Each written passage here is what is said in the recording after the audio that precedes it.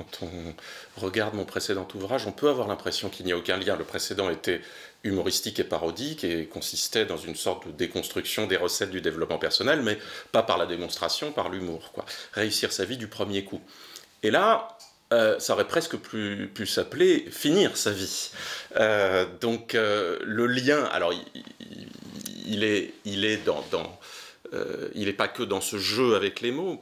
Le lien, au fond, il est dans tout ce que j'écris, c'est-à-dire une interrogation sur le rôle que les extrémités de la vie ont dans, dans la construction du sens de sa propre vie. Et euh, là, évidemment, ce livre n'est pas humoristique spécialement, même s'il y a un ton qui fait partie de mon écriture aujourd'hui, où il y a des moments de légèreté, mais c'est pas comme le précédent.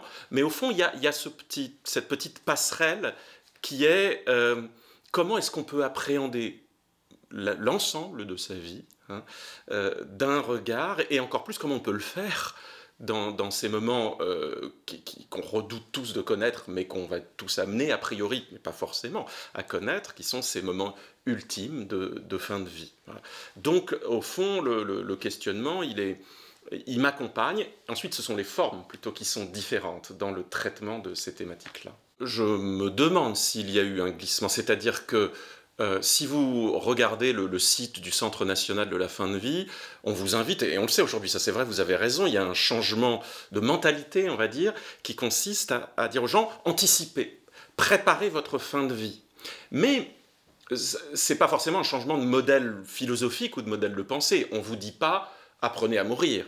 On vous dit pas, euh, lisez les grands philosophes euh, et évitez d'être pris au dépourvu. Non, c'est une question d'organisation personnelle, parce que ça fait partie de la loi aujourd'hui, ça fait partie des nouveaux types de soins qui ont été mis en œuvre. Les soins palliatifs en France, c'est récent, ça date de la fin des années 80. Et ainsi, on demande aux gens, et ça c'est nouveau, de se préparer à leur fin de vie. Voilà. Euh, et, donc, euh, effectivement, on prend en compte le fait que cette chose étrange, qui est que les gens, à un moment donné de leur vie, risquent d'être des mourants au sens... Euh, non pas de, l'agonie ultime, mais au sens où il n'y aura pas d'autre horizon euh, à leur vie actuelle que la fin. Euh, donc oui, les mourants, c'est un peu, de ce point de vue-là, une catégorie assez nouvelle, même si de fait ça a toujours existé. Hein. mais dans les mentalités, c'est un peu une catégorie nouvelle. Bon, ce livre, il m'a été inspiré par une formation qu'on m'a demandé pour les soignants en soins palliatifs euh, à, l'université de Bretagne. Et euh, c'était, j'en fais tous les ans, c'est court, c'est 6 euh, heures. Euh, et, mais c'est une proposition de réflexion philosophique sur le rapport, disons, entre la fin de vie et la, temporalité. et ce que, ce que j'ai vu, c'est que les soignants, en tout cas, étaient très demandeurs de ce temps de suspens, d'arrêt, de réflexion, dont ils ne disposent pas toujours. Et, étonnamment, ils sont pris, ben, comme tous les soignants, mais c'est étonnant en soins palliatifs, dans une forme d'urgence permanente qui n'est pas toujours compatible avec la spécificité de cet accompagnement. Donc l'urgence que connaissent l'ensemble des soignants, des soignants, ils la connaissent aussi, et ils en éprouvent tout simplement une frustration, parce que c'est un métier qui, pour le coup, ne peut vraiment pas être séparé de sa dimension, pas simplement humaine, il y a une humanité générale du soin, mais de sa dimension relationnelle. C'est-à-dire qu'il faut du temps pour les soignants pour entrer réellement en relation avec ceux qui doivent affronter leur fin de vie. La question de la relation, elle est centrale. Euh, elle l'est elle un peu moins, elle existe bien sûr, mais elle l'est un peu moins dans d'autres types de soins, hein, où on va connaître le patient euh, plus brièvement, plus rapidement. Là, il s'agit vraiment de l'accompagnement. Ce terme est fort, il est beau et j'y tiens. Euh, il y a le compagnonnage, il y a le fait qu'on va être une compagnie pendant cette période décisive de la vie, et il y a le fait qu'on va vraiment euh, être dans une relation continue avec ce que ça comprend de, modification, de transformation, de déception, d'accomplissement, etc.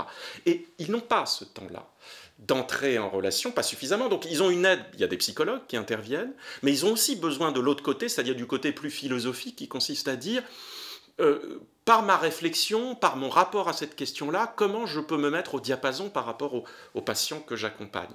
Et c'est un peu aussi dans cette perspective que j'ai écrit euh, le livre. La conscience de la mort peut-elle amener un apaisement ou de la finitude? C'est un peu la question centrale du livre, c'est-à-dire que, en tout cas de sa première partie, où je demande est-ce que la philosophie peut être elle-même un soin palliatif? D'un point de vue, on va dire, psychologique ou spirituel. Bon, et c'est plutôt une critique de, cet aspect-là. C'est-à-dire que la, philosophie s'est toujours intéressée, a voulu construire une conscience de la finitude, de ce qu'on appelle la finitude. Un mot en ude, c'est jamais très joli, c'est généralement abstrait et assez philosophique. Et puis ça renvoie à quelque chose qu'on pourrait appeler aussi d'un autre gros mot, c'est-à-dire ça renvoie à un transcendantal. Euh, la finitude, c'est une condition commune, et que les philosophes nous rappellent, n'oubliez pas que vous allez mourir, que vous êtes mortel. Et on l'entend encore aujourd'hui. Face au Covid, on entendait les, philosophes médiatiques, les comtes Sponville, les Onfray, qui vous disaient, bon, bah, euh, là, on redécouvre tout d'un coup qu'on est mortel, qu'on va mourir. Euh, oui, mais j'avais envie de leur dire, c'est pas tellement ça le problème.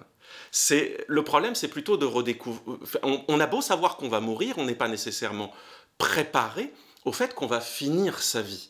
Il, est très difficile, on peut le préparer euh, euh, d'un point de vue administratif, par une directive euh, anticipée, mais on ne peut pas préparer philosophiquement le fait qu'on va rentrer dans un temps nouveau, dans lequel on aura d'autres horizons que la fin.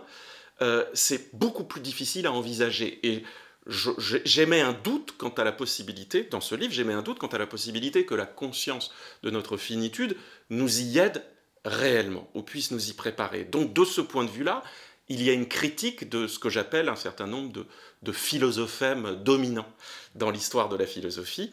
Hein, et, je me dis qu'il est important aujourd'hui que la philosophie s'intéresse peut-être un peu plus à la fin qu'à la finitude, effectivement, et donc au mourant qu'au mortel. D'où le titre du livre qui crée au fond qui renvoie, c'est omniprésent dans le livre, à, deux catégories, deux, à deux mondes. Est-ce que ces deux mondes peuvent communiquer? C'est une question aussi centrale du livre. Est-ce que les mortels et les mourants peuvent réellement, et là encore on va réutiliser le mot, entrer en relation?